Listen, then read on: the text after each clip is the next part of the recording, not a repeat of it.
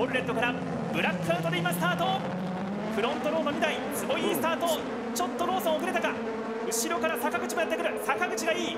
坂口が坪井のアウトから来ますが坪井はここディフェンス。うんクリーン。セルの2台良かったですね。ローソンは1つ落とします。さあ坂口が積極的に坪井に迫っていく。